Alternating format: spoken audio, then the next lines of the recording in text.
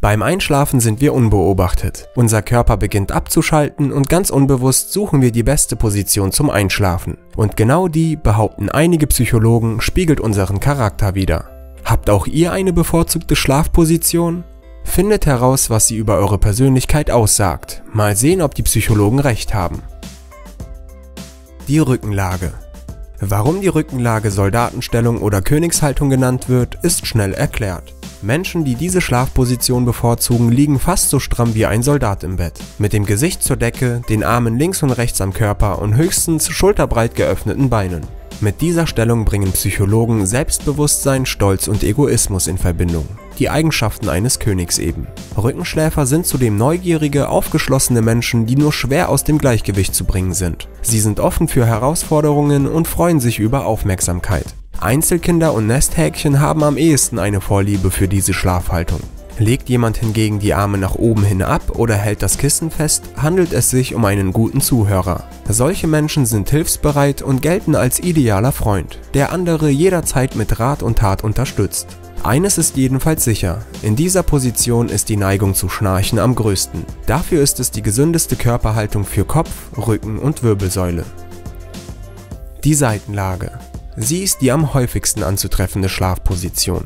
Der Körper liegt auf der Seite, die Arme befinden sich in Körpernähe, die Beine sind ausgestreckt oder allenfalls leicht angewinkelt. Diese Personen gelten als ausgeglichen, flexibel und aufgeschlossen für Neues. Da sie selber glücklich sind, stecken sie andere mit ihrem Humor und ihrer Begeisterung an. Unbefangen und entspannt wie sie sind, kommen ihre Mitmenschen gut mit ihnen zurecht und empfinden sie als liebenswert. Trotzdem sind Seitenschläfer zielgerichtet, wenn es darum geht, Wünsche zu realisieren. Diese Stellung entlastet ebenfalls die Wirbelsäule und vermindert den Drang zu schnarchen. Je mehr die Knie beim Schlafen angezogen werden, desto eher treffen wir auf einen emotionaleren, kreativ veranlagten Menschen. Gleichzeitig nähern wir uns der nächsten Körperhaltung an, die Fötushaltung.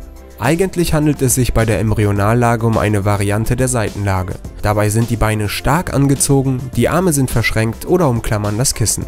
Diese Körperhaltung erinnert an einen Igel oder wie der Name schon sagt, an einen Fötus im Mutterleib. Sie spricht für eine in sich gekehrte sensible Persönlichkeit. Was im ersten Moment verschlossen wirkt, ist eigentlich Schüchternheit und die Furcht davor, verletzt zu werden. Menschen, die eine Fötushaltung zum Einschlafen bevorzugen, suchen Schutz, fassen aber nicht gleich Vertrauen zu anderen. Sie sind gefühlsbetont und dadurch fantasievoll, einfallsreich sowie künstlerisch begabt.